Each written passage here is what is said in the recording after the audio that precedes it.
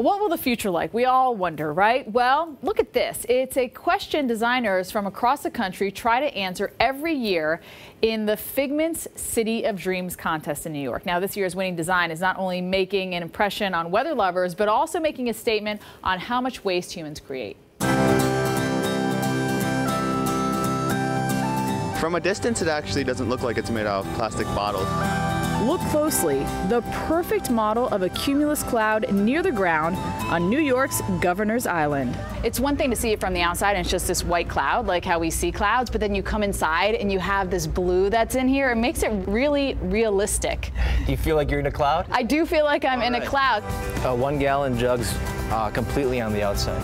Architects Jason Klimoski and Leslie Chang designed Head in the Clouds and built it with the help of hundreds of volunteers. We wanted to call attention to the 60 million bottles a day that are thrown away in the United States. Uh, we started with a collection campaign, uh, used local businesses, organizations, runners groups, children, students, everybody that we could find that were interested in turning their empties into architecture.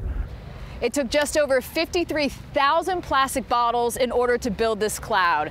That is the estimated number that is thrown away in just one hour in New York City.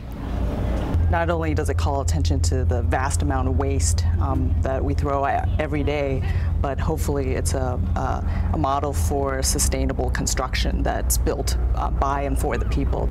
Transforming trash into a pillowy structure dedicated to dreaming.